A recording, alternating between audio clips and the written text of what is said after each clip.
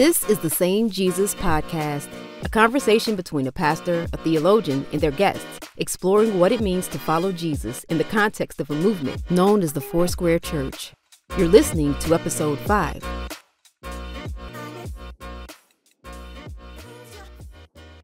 All right, AJ, we are back. Welcome back. Welcome Fifth back. episode. And um, again, as a reminder to those who are tuning in, maybe you skipped the first four. Um, Shame on you. How could you not have listened to the first four? I really don't know what you're doing with your life. what would you do to skip the four and just go to the fifth? Yeah. Um, but we're having conversations to really aid uh, our our tribe, Foursquare. Uh, it's not just for Foursquare, but to Foursquare first, leaders, pastors. Um, we're having conversations on topics that are important right now. Yep. They're important because everyone's talking about it, so we need to talk about it, or they're important because no one's talking about Yep. it. Yep. we need to talk about it. Yep. And this one kind of feels like a mixture of the two. Uh, this episode, uh, we were going to talk about holiness. Holiness. Holiness is one of those concepts that is very biblical. I mean, Jesus tells his disciples in uh, Sermon on the Mount, "Be holy, as I am holy."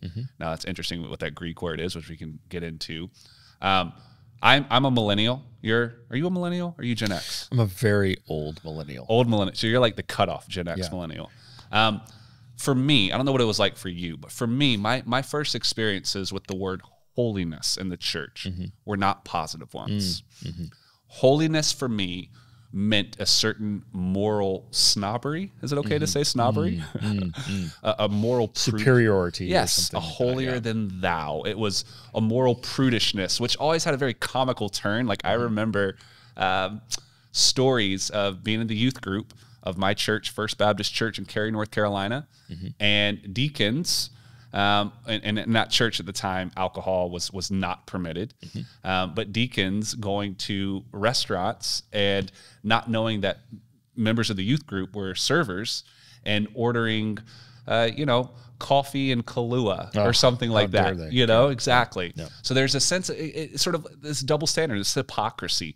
So holiness was not uh, a positive force. It, I, I, I, it wasn't taught positively to me. It, it felt hypocritical. It felt you put on a, a facade, but deep down there was no transformation. What were your earliest expe- experiences with the concept of holiness in the church? Yeah, I mean, I, honestly, in the in the first years that I became a Christian, I was 16 years old. Um, one of the first confrontations that I had in my new faith was, um, and I think this happens to a lot of people, um, is is immediately upon becoming a Christian, started going to church, started you know reading the Bible, going to Bible study, sharing my faith, was a confrontation with almost this sense of like. Um, all this stuff that had been dark that I had never talked about had all like almost in a moment had come into the light. Yeah. And in a way, I remember there being an immense amount of guilt. Yeah. Not like bad guilt, really Right. actually healthy guilt. Right. Like, Like this conviction. Yes, like Yeah. this deep sense of like I was coming face to face with things previously there was no friction in my life over, but now I was coming to terms with oh, like I've been doing things my whole, you know, teen all my teenage years that are have been keeping me enslaved. I mean, it was a it was a very liberating Yeah. sense of conviction. But along the way, you- when you know when you um in your in your house they uh you know the the, the gas that's in your uh, that you cook with that's in your in your stove they add uh, the negative smell to it. Because if you if you don't add the negative smell then uh, you can't smell the actual methane. The, the gas it, it actually is, it doesn't have a smell. So they have to add the negative smell to to make you realize that you're dying. You know to your um uh, it was almost like with the godly conviction came this really unhealthy Interesting. um this really unhealthy religious shame Yeah. and the two it's I, i've often found even at 43 discerning the difference between those two is really hard Yeah. my immediate feeling about holiness was there was so much good conviction but very quickly some some deep church religious shaminess Yeah. that was that that went with it that was not good. because I feel like my generation and our generation, we we swung. So because holiness was that, just what you're saying, it sort of it had some good conviction. We realized, like Isaiah, you know, Isaiah six in the throne room, like you know, woe is me, I'm a man of unclean lips. Like just in the presence of God, there's a Yeah. sense of, oh my gosh, go away from me, Lord.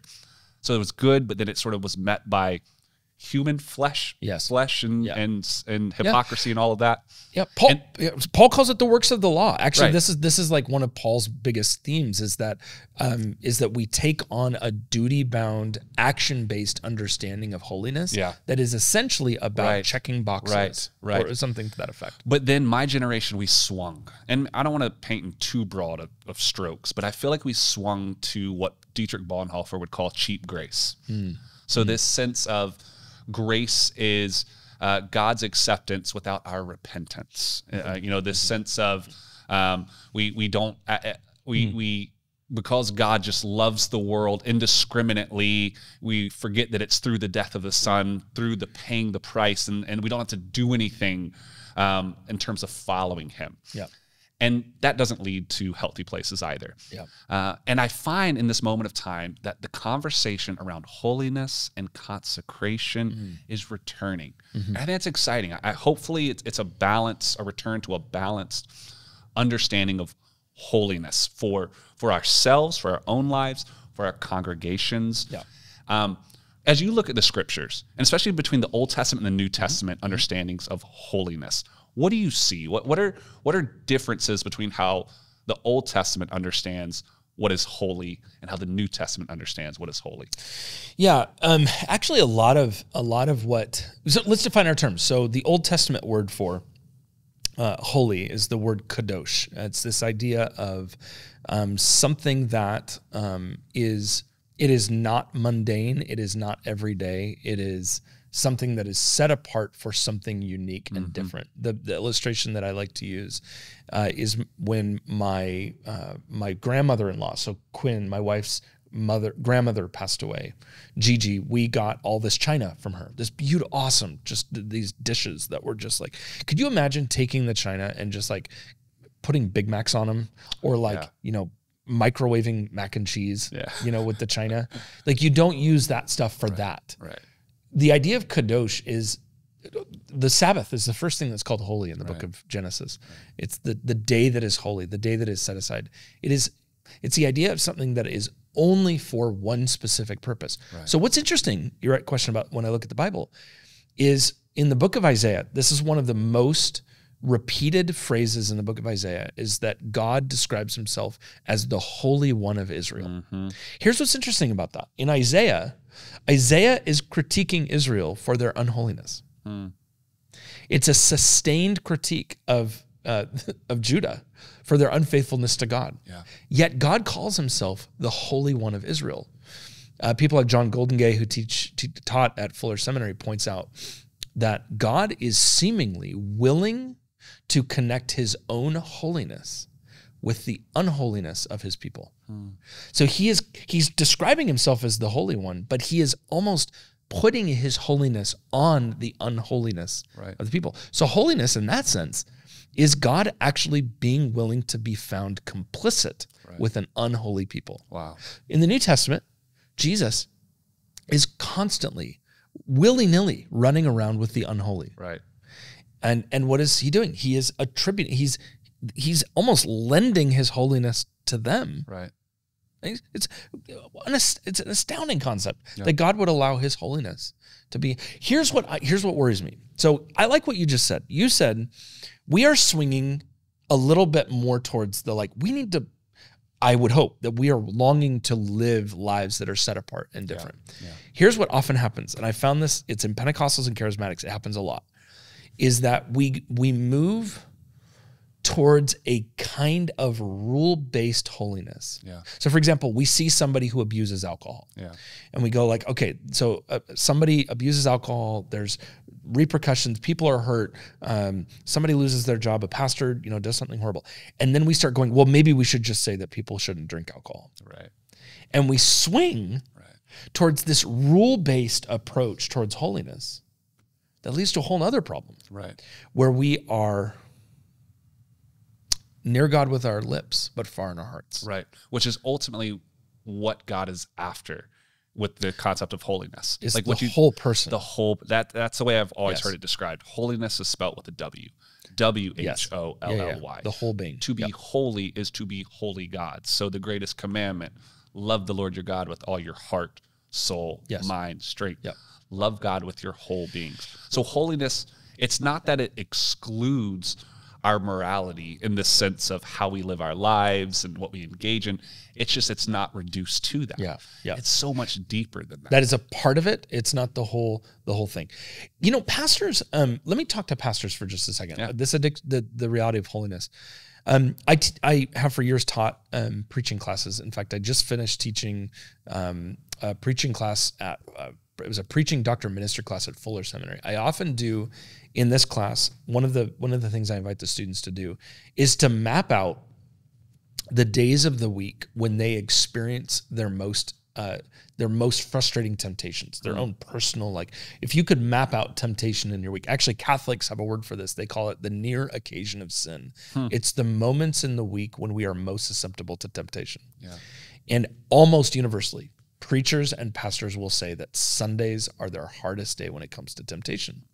I think there's a couple reasons why. I think on one hand, when we're doing good work, Yeah.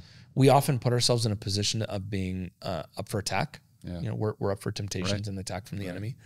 But I also think that ministry can tend to put in someone's mind the idea of, man, I'm working really hard for Jesus. Yeah. I, I deserve this. Yeah. Oh, absolutely. Like I man, Jesus, I'm laying my life down. Just give me just like a little bit. Just like a I get just know- a little pass. You know what I realized this that that this was not the case. I um you know we're commanded to put on the armor of God, right? Mm. And uh, I realized that um, that spiritual attacks would come to me and, and, and my marriage and family on vacation. Yeah. Oh my gosh. And there's a sense of like, 100%. I was like, "Are you kidding me? Yes. Can I not just wear spiritual sweatpants on vacation? Yes, Can I have one week? Yes, that's the hardest time. And Yeah. there's this sense of like, oh no, like Yeah. it's it's all I'm either wholly the Lord's or I'm not the. Lord's. Like there isn't that. Yep. Yeah. Yeah. Holiness is actually, I think, very difficult often for people that are in the ministry to conceptualize. Right. Because there's this sense of entitlement, the Yep. sense of like, I'm burning out for you, Jesus. So isn't it okay for me to just sin a little bit? You know, um, and there's elements of, of temptation that come from the enemy's, you know, work works against us. For people who are in ministry, the, the theology of holiness um, is maybe the most important for for those very reasons, um, because it is so isn't it not? It's so easy to to perform holiness Oh when the lights are on. Totally. I mean, that's what I saw in, in my Baptist church. Yeah, it, it's it's almost natural. It's Performative natural holiness. to us. Yes. yes, yeah. So you you you exhibit it and on the on when when everybody's looking, but in Right. the dark, my gosh, we're a whole different people. What we need, Russell, is we need we need a movement of people that are committed to uh, holiness every part of the week, where we are formed by the Spirit of Jesus. I, I quoted this when I preached at Faith Center a couple, uh, not too long ago, and one of my favorite Dallas Willard's quotes, Dallas Willard quotes, is uh, his line where he says, "There's no thing that reveals our formation in Jesus more than the spontaneous love of enemies. And it's it's the sense of we are so formed by the holiness and presence of God that we even react in holiness. Totally. We even react in holiness, right? Yeah. Like my knee jerk I want a knee jerk reaction of holiness. Totally. Yeah. Well, I mean, uh, Pete Scazzero, he has, I mean, his entire premise of emotionally healthy discipleship is off of being with God versus doing for God. Yeah, yeah, yeah. And when those two get out of balance, uh, all sorts of, of sin creeps in. Yeah. And so, what I think the Spirit is inviting us into is a a redefinition or maybe a correct definition of holiness. Holiness means that our lives would be holy unto the Lord, which is why rules based holiness doesn't work. Because I mean, Paul in Romans, he Yeah. talks all the time about that of like, uh, let us be led by love. But some people eat vegetables, some observe Mm. days, you know, like everyone by their own conviction, because whatever we do, do unto the Lord. We are the Lord's, we are holy the Lord's. So, what would it look like for us in our private lives to have a being with Jesus, a being with God that even outweighs our doing for God. Yeah. That's ultimately what he's getting at. Yep. Um, have you have we talked about? I don't think we have in first season. I don't think we did. Did we? Have we talked about a neuroscience attachment theory at all? I mean, we have talked about. It. I don't remember Dude, if it was first season. Crazy stuff. Yeah. Neuroscience. Uh, uh, it- Everybody's Willer did a lot of work with this. yeah. Jim Wilder's done, which he's done some stuff with the our two of them together. Yeah, Um, Kurt Thompson, yeah, who's a, neuro, a, a Christian neuroscientist uh, who does attachment theory stuff. Um, I think attachment theory is a really interesting way to think about this this conversation. We tend to be we're face to face creatures. Humans are face to face creatures. We were made for faces. We were made to see a face. We were we were born. Kurt Thompson says in in in one of his books he says that when a baby is born, they come into the world looking for someone that is looking for them. Yeah, a baby is looking great for a face, right? A baby is looking for somebody that is looking back at them. We were made for God's face. Yeah. What does Paul say? I behold God. I, I reflect the glory of God yeah, right? We were made to behold God's face.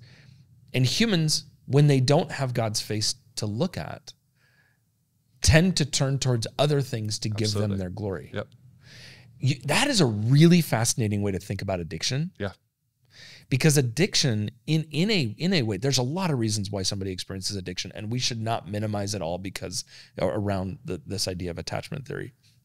But if we are not attached to the glory of God, to the face of God, Mhm. we have to find our glory in something. absolutely. We have to find our relief elsewhere, our, our our validation, Netflix, our, yep, social media, our satisfaction, pornography, Yep. a, a good food, Right. our reputation, Totally. our jobs, which are good things. When we are not wholly the Lord's, when we are not so consumed, when we are not so attached to the presence of God that we are just absorbing God's presence like a baby looking in the face of its mother Yes. or, or father, Yep.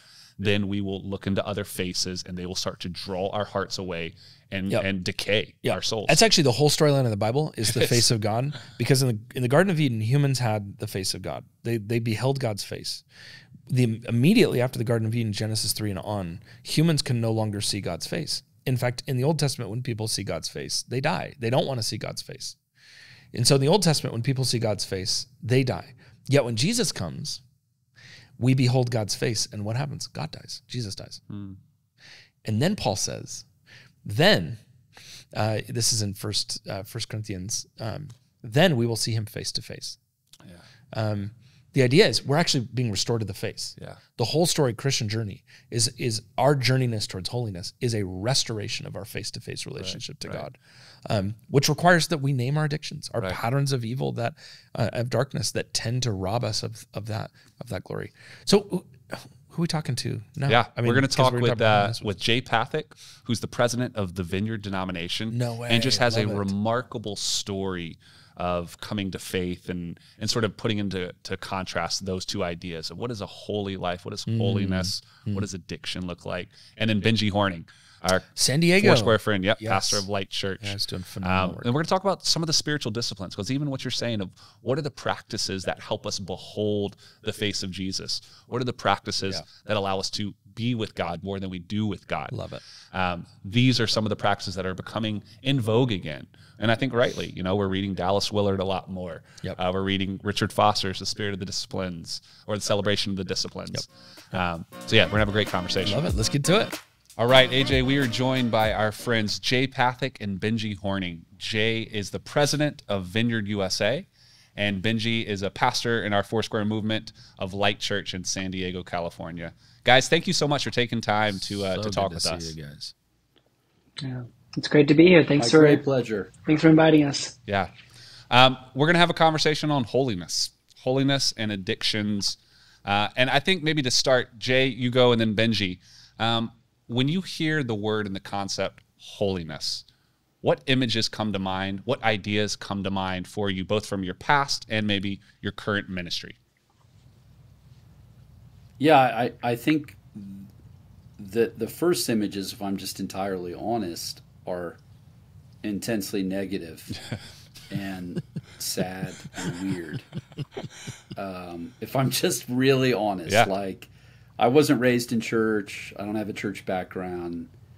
I've been around enough weird Christians to be suspicious of them. And so probably the, that stuff still gets stuck in me a little bit. The mm-hmm. thought that holiness mm-hmm. is people who are behaving weirdly, who think they're better than me uh, and others, Yeah. and are probably not very fun. Yeah. They're like stunningly boring people. Mm, mm. Um, but that that's probably not the right answer because I don't believe that to be mm. true. But if you're just asking me what comes to my mind immediately, Yeah. There's still some of that stuck in me because a lot of the people who like to talk about this stuff are not the kind of people I would want to hang out with. Yes. Um, Holiness, the But- absence of fun.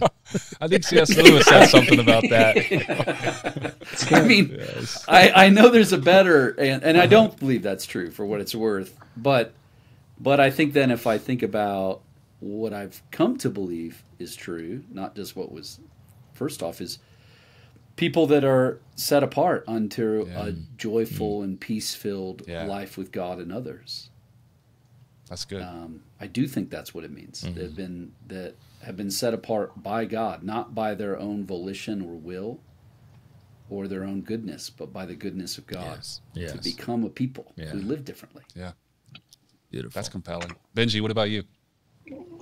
Um, to to be honest, it almost prompts a question um, when I hear holiness. Uh, my mind actually drifted towards God's nature more than ours, and and in that sense, um, it it really conjures up uh, a, a pretty um, expansive, beautiful, um, just sense of who God is and in terms of how he's revealed in scripture that that there's something about his holiness that it's hard for any biblical author to be able to even describe accurately.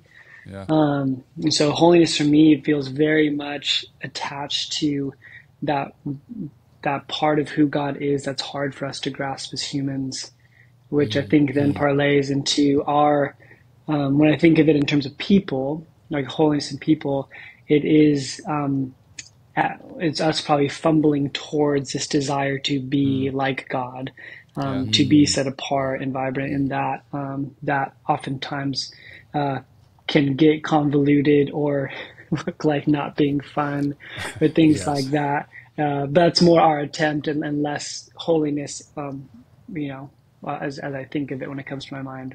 Yeah, I, I, you know, Jay, you, I, I actually really gravitate towards your immediate gut level response uh, around holiness being uh, the the absence of fun. I want to I want to dr- drill down on that for just a second and ask you both a, a, a question.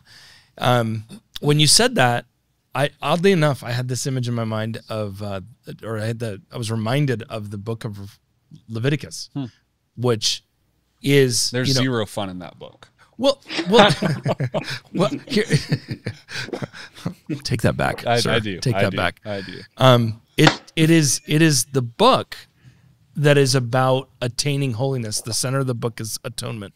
It's about receiving God's holiness, and yet one of the central features of the book of Leviticus is it's all about feasting and partying. It's Yeah. about Right. celebration. Right. So, like the book that is about God's holiness is about throwing a good party. So, let me, how important is it for Christians in in our in in our engagement with becoming holy people as God is holy? How important is fun and and celebration? Like, do we need that? Does our soul need that? Is there a place for enjoyment in holiness? You're not actually asking, right? I am actually asking. Don't be. Oh, be, okay. d- yeah, no. D- d- don't be so evasive, Jay. Um, like, like- no, I mean. Like, like if isn't isn't doesn't the Bible actually in- invite us to like a kind of holiness that's actually really human? Well, if it doesn't, then I don't know what it's doing. I mean, yeah. So yes, that's why I was joking. I mean, it, it, it, obviously. Yeah. I mean, and yet somehow, I mean, again, even the way you describe Leviticus and the way that it's understood is as though we're being set apart for what? just so that we mm. can be um, Ro- robots. better than others right, or right. somehow non-celebratory but yeah i mean I, I- i've been really impacted by so much of the different teaching even some of the neuroscience on how peace and joy are really experienced in our bodies and our mm-hmm. lives and our relationships um, I, I i think we're set apart to live lives lives of peace real peace where though the world around us might be disordered, we are a non anxious presence. They can live in joy with God and with people. Yes. That God is fully content and full of joy. And yet we're in the middle of this messed up place where all kinds of things are broken around us and within us. And so, you know, I, I'm of the of the inclination, which I think I can tell you are as well, that through even the Hebrew scriptures, the different commandments and challenges are so that we can be rightly ordered Yeah. Mm. with God and with right, one right. another, Yes. set apart unto this place of joy and peace. And so for me, yeah, I I think when people don't enjoy their lives and somehow they think they're living some kind of life with Jesus, Yeah. Uh, it's really problematic. That doesn't mean there isn't suffering. Right. It doesn't mean things aren't hard. It doesn't mean things aren't a mess mm-hmm. around us. Mm-hmm. But it does mean that we should experience something that looks like peace and joy in the midst of those things. I think the New Testament underscores that over and over again. And so, yeah, I do think that that is a fair litmus of how much grace are we living in? Mm. Are we able to enjoy ourselves? And frankly, it might even include not taking ourselves as seriously Yeah. as we might be tempted. Yes. Uh, that we make much of God by making less of ourselves, um, because He's done the work. Yeah. Yes, And and so Benji, here's a question for how you pastor people. We talked about earlier before you guys came on, similar to what you know we've said of some of our experiences with holiness, at least at first, were particularly perhaps negative. Negative, yeah. Yeah, negative in nature. Uh, a moral snobbery, uh, holier than thou. And yet, what we're all saying is like true biblical holiness, the true nature of God, this the the drenched in the presence of God, could be the most raucously good time that any of us have experienced. But there's a disconnect. How do we begin, Benji? You answer first. How do we begin pastoring people across that bridge? What does it look like to jettison those wrong and harmful notions of of holiness and recapture the beautiful one offered in Scripture? It's a great question. You know, we um, our context is our our town we pastor, and even the congregation we pastor, largely is coming out of um, like a non Christian background, um, but one that has um, a lot of access to good things, pleasurable things, Yeah. And I think a lot of our conversation on holiness doesn't actually begins with appetites. Yeah. it begins with this desire of like what are you what are you chasing? And then uh, and when they describe those things and i'm speaking about people who like wouldn't go to church or things like that it's actually saying i, I think that god joins you in that desire for you to have that thing but he wants to give it to you in such a way that will not extract life from you or take life from you but will ultimately good. sustain you That's really good. and I think that's actually the power, and one one of the reasons we promote like a um, like a practice of fasting in our church yeah. is it's actually getting in touch with your hungers and your drives. Not to say that they're bad, but to say that what you are doing to fulfill those drives ultimately will leave you hungry again. And Jesus' bold claim is that life with Him is with the ultimate satisfaction of those things Yeah. which I think ultimately is this thing that holy living is this desire to be attuned to your appetites, your drives for pleasure, for fun, for joy, um, and then to ultimately say, I'm not going to settle for a counterfeit. I'm not going to bypass it to get a cheaper version of it that will ultimately rob me of that. But I believe that Jesus is going to be able to provide that in its fullness. Yeah. Um, and so I think, I, you know, and, and I, I find it, I find that people are, are searching more and more for someone to give them a map towards holiness. yeah. Um, I think that there is this ambiguity we have in our culture in terms of like what is right living, and um, and so it's interesting. I, I find a lot of young people asking for and looking for something that invites them into a life that isn't uh, fast and cheap and things like that, but it's something that's rich and sustaining. And um, so I, I, I find that there's actually a growing hunger for that because, again, our our desire to be a holy people is attaching to how we were designed and created by God, Right. which will ultimately Right. give us joy, will ultimately give us abundance of life. Right. Yeah. It, uh, it makes me think of uh, G.K. Chesterton has um, a little bit in his book Heretics. I don't know if you guys have read that, where he talks about alcohol, mm-hmm. and he says there's two types of drinking. There's rational and irrational drinking, hmm. and he says Christians should be irrational drinkers. Hmm. And what he means by that is rational drinking is drinking because you need it, because life is hard, because uh, you need like the substance to to help you Yes, avoid yeah. pain. Irrational drinking is because you do not need it, mm. because it's drinking with mm. celebration. Now, I, where I'm not advocating, you know, Yes. there's different approaches with alcohol, and so, but at, it gets at that idea of like we are so ordered. The holy life is that we are so satisfied. Our, our loves, our desires. You just wrote a book on desire. Mm-hmm. Our desires are so satisfied in Christ that it allows us to appropriate uh, the good things of creation and in, in a, a posture of abundance. Yeah, I'd actually like to get really practical with the two of you while while we have you. Um, this is an of actually of all the episodes that we're doing this this this season. This one to me, the, you, we're bringing together holiness and addiction. Yeah. And the, you, in I think in the normal scheme of things, you go like, what do those have to do with each other in any way, shape, or form? Um, I remember a therapist saying to me once, it was actually my therapist who told me that there's an intimate relationship between addiction and deprivation and and what what he was trying to get me to see is that often we wrestle with our deepest addictions in the places where we have been most deprived. So like when we've withheld being loved by somebody or being touched in a nurturing way if we need it that that actually drives us to compulsive and addictive behaviors. Mm-hmm. Would the two of you talk to us a little bit? You know you got a bunch of pastors and leaders. Talk to us about how often do, do you see a connection between our addictions and our lack of des- our lack of satisfaction in God. Yeah. Like, do you see a connection between those two? Is it, do we sometimes find ourselves in addictive patterns because actually we're not enjoying Yeah. the life God has given to us? You know, I, I think that's a great connection. Um, Robert Mulholland has a book, Invitation to a Journey, Oh, such a good where book. he such a good book and he he kind of lays out all of these different spiritual disciplines and practices but he talks about how you need like upstream and downstream disciplines. You need the ones that mm-hmm. go along with your personality that are easy and enjoyable. For me that's feasting. I'm really good at that. But then you need the downstream disciplines which are fasting.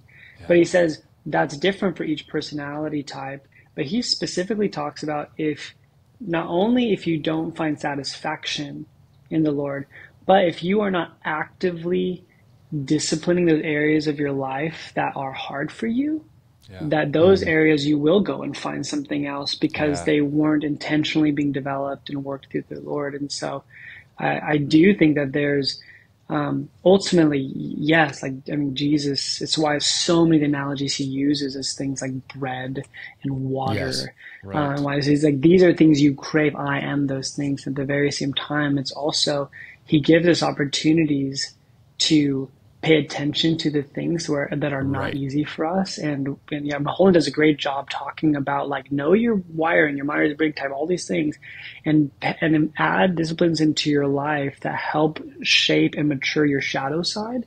Hmm. Because he just talks about leaders that have those shadow sides that were underdeveloped and undermatured, and they ended up having those areas be areas where they fell because it was it was completely you know lack hmm. kind of lack of hmm. development in it. Yeah, Jay, I'd love to hear your response too. Do you see a connection between addictive patterns and you know our relationship with God? What do you what do you see in the connection between those two? Uh, I think it takes. I it's interesting that it was a therapist that drew that to your attention. It, it, it takes a certain kind of safe and courageous space to even Yeah. begin to evaluate those things within yourself. Yeah. Um, you know, there's a theory of addiction that tells you that you're trying to manage some kind of pain with addiction, which I think is probably true. But there's also another way of thinking about addiction, which is more in line with what you're saying, which is that you're taking on illicit means to meet needs that need to be met in Ah, other ways. interesting. Yeah. So if you imagine like a, you know, we'll we'll do a training with folks in our churches where if you imagine a column of all the things that you should need, like safety, intimacy, purpose, meaning. Nearly always addictive processes are connected to those things. So let's say uh, pornography use. You know, let's just jump in the deep end. Uh, so pornography is usually connected to some kind of need. I need a sense of intimacy or safety. So uh, that helps me feel that. Yeah. And so here we come as a well-meaning pastor, and we say you should definitely stop looking at porn. And they're like, "I knew it. I knew it was Yes. Yeah. bad." And what the experience of the person though is is what we're what the experience is us saying you don't actually need intimacy. You don't actually Oh, need safety. So those things get stapled together. And so when we say stop this thing, they go, fine, I'm happy to do that. And what we do is we start then on a, on a deprivation cycle. Yes, that's right. That's right. So now they're going to try to figure out how to live without a sense of safety and connectedness or intimacy. And all we're doing when we do that is we're creating a cycle by which then they're going to have to binge. Yep. yes.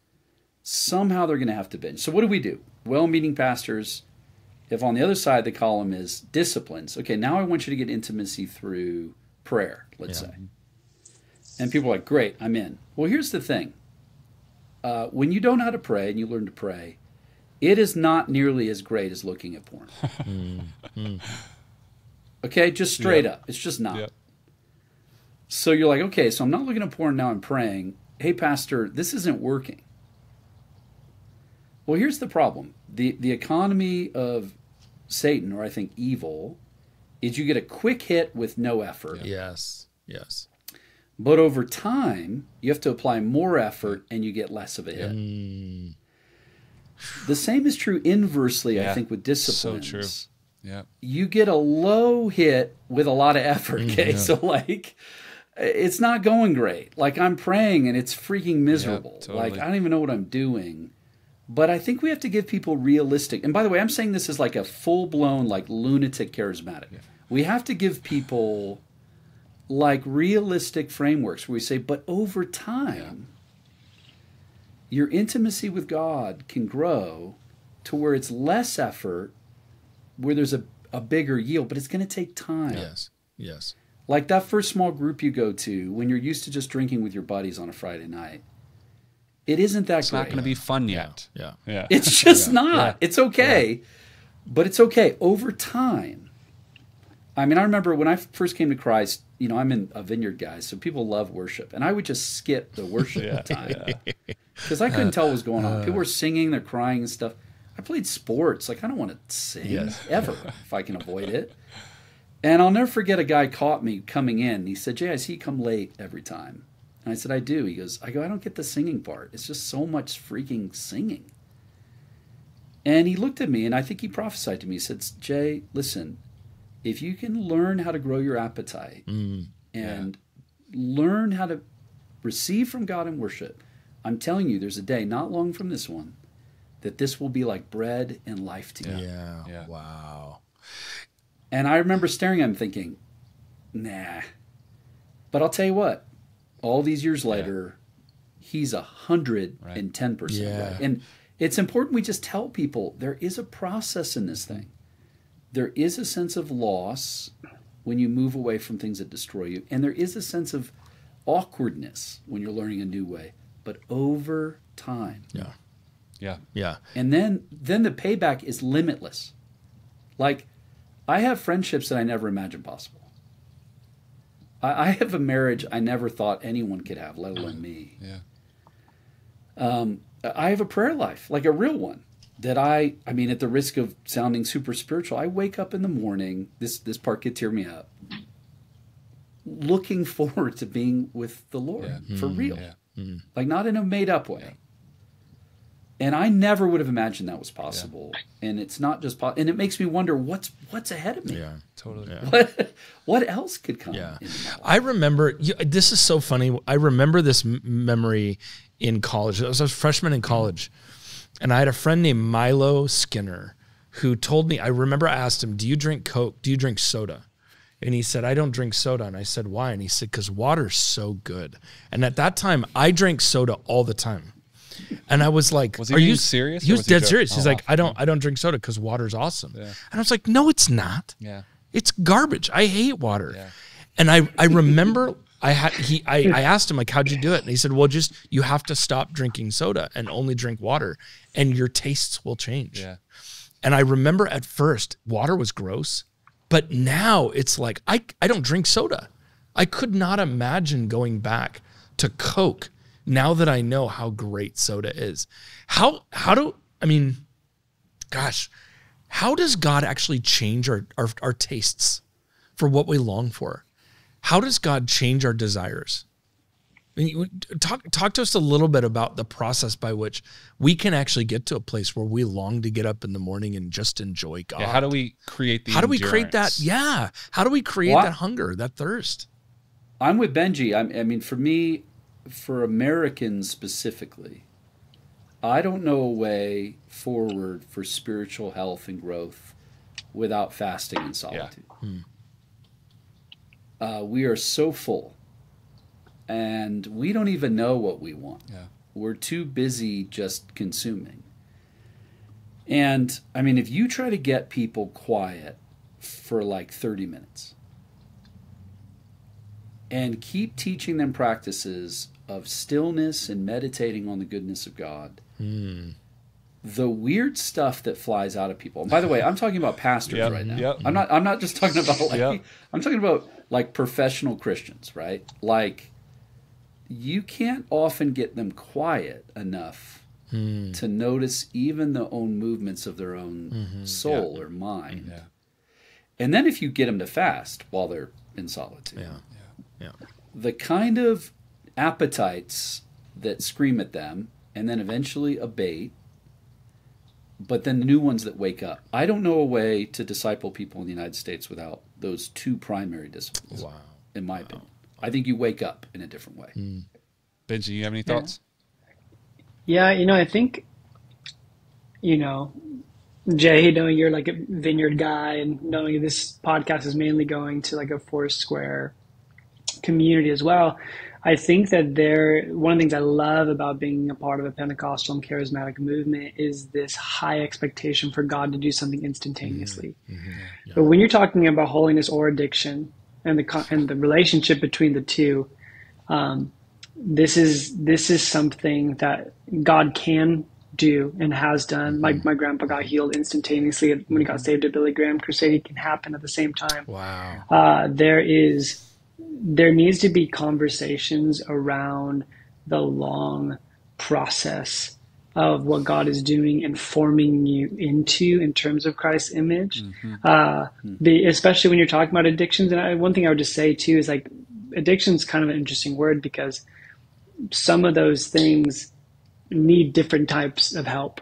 And so mm-hmm. part of being a pastor mm-hmm. is having the discernment in terms of what are you dealing with with people? Like, is this is this solved through spiritual disciplines and things like this? Are there other things that can come Right. and partner with like Right. the Word of God? And I think you need to have the maturity to to know in those situations where do things like that. But but I love, I mean, honestly, Jay, everything you're saying, I think is just just really, just really really good because I I, I think, yeah, I think if we can also recognize the time and space that we we are in, like we are pastoring a very exhausted people Yes. and um, and I think about like AA, right? Like the most famous group that helps people out of addictions just talks about halt.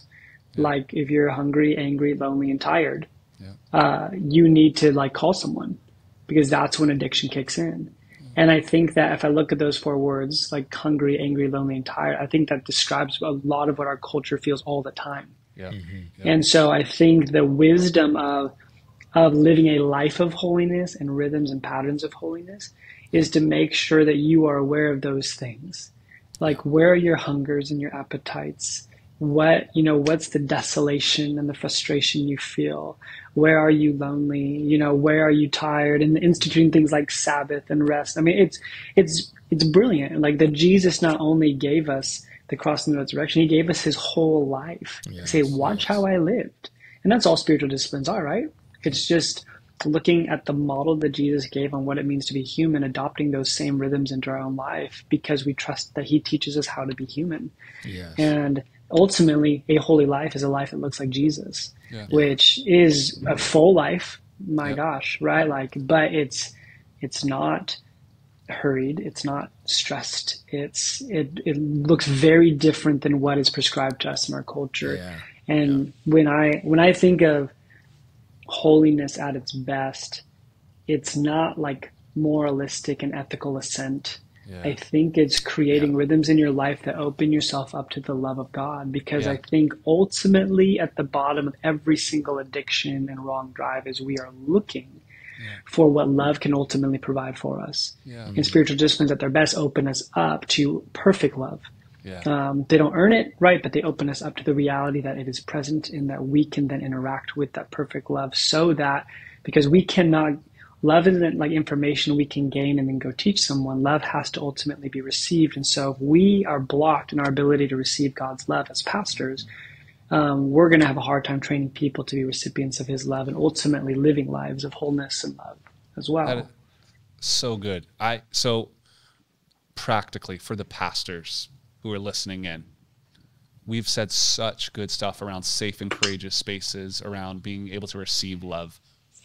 How would you pastor the pastors who are listening right now? How would you speak wisdom to the pastors of creating safe and courageous spaces where they can begin to acknowledge their own addictions, begin to come face to face with the deprivations in their own soul that they are filling with all sorts of things, and um, choose an alternative pathway of formation of life with Jesus? What would that process even look like for our pastors practically? Go ahead, Jay.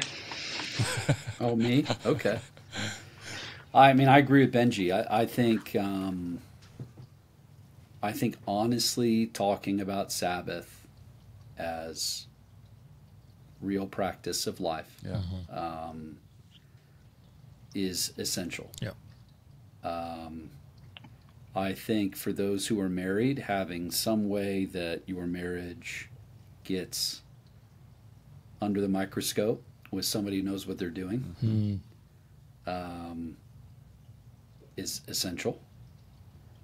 I think outside of or within Sabbath practices, something, some patterns of solitude um, and fasting. Yeah.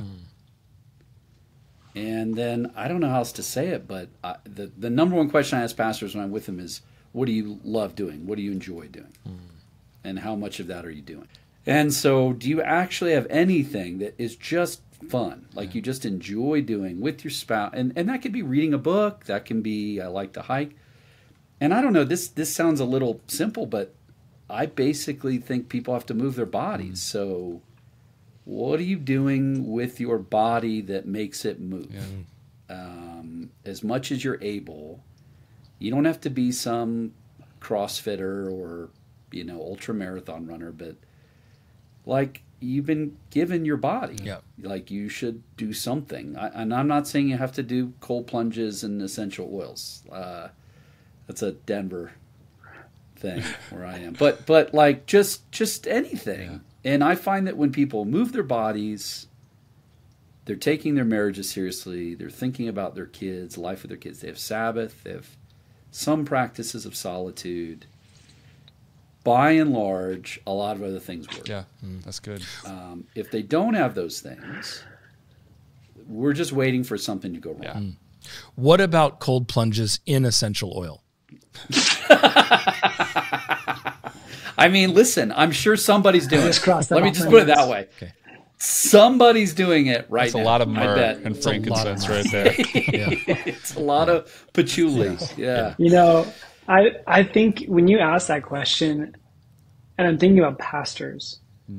Um, um, I had a I had a pretty rough uh, fall, uh, like autumn, and I think that uh, it was it was so rough because I don't think I was aware that my good desire for the mission of God became probably an unhealthy, I would even maybe call it an addiction. Yes. And an addiction means that you have taken something that would give you joy or dopamine and you have prioritized it over relationships, you prioritized it yeah. over health, you, Yeah. you know, you, and I think we're pastors, and obviously there's the stuff we know we shouldn't do. Like we should not be sinning, and we need to like make sure we're aware of those things. But I think sometimes holiness, if we're to live like Jesus, is to not is to not turn the need, the crisis, and even the mission into an idol to be worshipped So good. and and I think a brutal lesson I've had to walk through the past few months is is recognizing that God has. Um, gosh, I had a mentor of me uh, share with this thing is Daryl Johnson. He said, said the strange thing about pastoring is you are participating in something you don't carry, and I think that's the tension. Is mm. sometimes our mm. participation with the mission of God translates us into feeling we have to carry it. Right. and all of a sudden that we we do we start not paying attention to just the check engine lights in our body and in our emotional and mental health. And and all of a sudden things that we're doing i mean like it's literally the martha mary thing. Like the thing we're doing that's so good we're serving jesus we're so about it, it gets us so blinded that jesus actually has to interrupt us to say you're you're you're so distracted Yeah. by all of these things which by the way are good Yeah. you've totally. forgotten the one thing that's needed and i think that like that's what my heart goes to if, if pastors are listening to this um, god's desire deep desire for you is to be faithful to his spirit that's why paul says in galatians keep in step with my spirit Yeah. and don't don't bypass him don't run out faster than that um, and and rather than just keep in step with him and oftentimes that will go slower than you'd like. Your congregation and your mission Yep. and your project will move slower than you'd like but your soul will not pay the penalty for it. And so i think that would be the addiction i would encourage pastors to pay attention to um, is, is really the, the drive of, of the mission that is what got us into this um, needs to be in its healthy place Yeah, I, I want you know we we, we um. Th- by the way, thank you for this rich guys, conversation. The two really of you have offered us so much. Um, it dawns on me in conclusion to this interview that in movements like our own that can tend to be kind of holiness in nature. I mean, we literally come from the holiness Birthed out of it. tradition. Yeah. um, is that we can be environments that do tend towards inviting people to a kind of performative spirituality where we almost feel this pressure to perf- Perform. perform Yeah. and and the reality is that that can create maybe that's a shadow side for our movement Yeah. is that we have a kind of spirituality that can often look really great when the lights are on um, but I think this conversation invites pastors to attend to the truth of their soul, what's actually going on inside, and not be ashamed of treating that part of their life as important, if not more important, than when the lights are on. Mm. Gosh, because if our faith is just only good when we have the mic in our hands, that's a depressing form of spiritual. dangerous. Dan- dangerous uh, too Dangerous. Yeah. Mm. So thank you for inviting us into the deeper dimensions of wholeness. The two of you are a gift, and on behalf of Yeah, the thank you, people that are listening, thank you for offering this to our to our movement. awesome well, thanks guys for having us I can tell you, essential oil sales after this episode are skyrocketing. You can brought just to you hear, by yeah, by by Our Vineyard. sponsors. Our sponsors, Vineyard, brings you essential Yeah. oils. Yes. Vineyard uh, Cold Plungers. The Wim, we call it the Wimber brand. That's what we call it. Yeah, the- there it is. Oh, praise the Lord. Praise the Lord. Guys, thank you so much for your time. AJ, we've covered a lot of terrain in this conversation. We've talked about um, Curt Thompson coming into the world looking for someone looking for us. We've talked about God um, as love, as attachment love. Um, and that conversation right there with uh, Jay and Benji was just rich with this sense of uh, what are the ways that we have these deep relational deprivations um, that are meant to be filled by God, uh, that we're looking at other places that can become addictive in nature. I remember when I first started practicing silence, and this is, you know, I want to speak from my heart to the pastors listening. When I first started practicing silence, I hated it. Yep. I hated it. There was so much grief and anger in my heart. There were so many unprocessed wounds in my soul. Um, and it was interesting because at that time, I was probably more addicted to dopamine than ever in my life. It reminds me of a passage in Ephesians 4 that talks about how um, uh, the Gentiles, those who were not in Christ, that their hearts were calloused and therefore they were greedy for sensuality and every kind of impurity. And that's so opposite from the narrative we hear in society. Society would say the more sensual we are, the more uh, free we are, the more we give ourselves over to experiences and um, and and and the things that the world has to offer. That's actually a sign of our health. That's a sign of our our, our heart's health. And actually, I think the scripture would say that's a sign of our heart's callousness. There's a hardness there. It's your example of um, you don't need Coke. Um, when there's when you realize like the depths and the goodness of water. And I, think where I want to end this conversation, because for pastors I'm like thinking, how do I do this? How do I begin? It will be difficult at first to remove yourself. to remove, yes, those things, to enter into the silence, the stillness, to enter into a slowed down, um, just turning your soul to the presence of God. Yeah. But in time, you will begin to experience how delicious water and Yeah. bread Yeah. is again. Yep. Yep. You have any final words? No, I mean, yeah, I I think that's an, a, a a wonderful way to end. And you know, whenever we uh, whenever we stop tasting the artificial, when we stop drinking salt water, you know, what do they say? When you're when if somebody's lost at sea, you're so thirsty if you Yeah. don't have water that you would be willing to drink salt water, Yeah. which in the end would end up killing you. Yeah. And I think I think we all live our lives drinking salt water. Our life is one big big gulp of salt water after another, and you know the process of of of stopping that is simultaneously allowing our souls back to life. But it does. But it takes time. it takes time, energy, and a lot of patience, and and a lot of grace because there are going Grace. to I be was just about to moments. say the same word. Yeah, like Yeah. like we, it, it, a lot of grace that in those moments we do go back to drinking the salt water, Yeah. to being like, you know, there's reasons I do this. Um, I'll, I'll close with this. I had I referenced my therapist um, in in our interview, and the very first one of the first times I met him.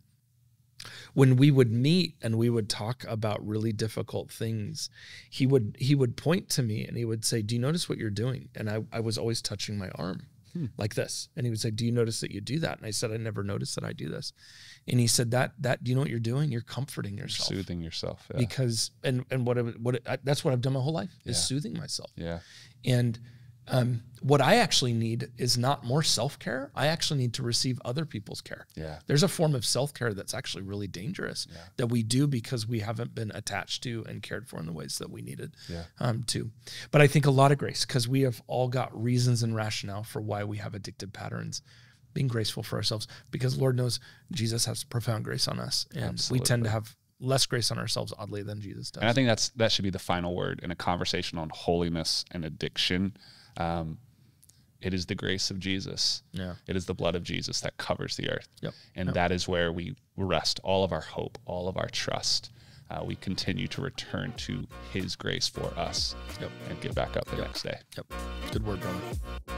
Thank you for listening to the Same Jesus podcast. On our next episode, Russell and AJ discuss the future of the church in America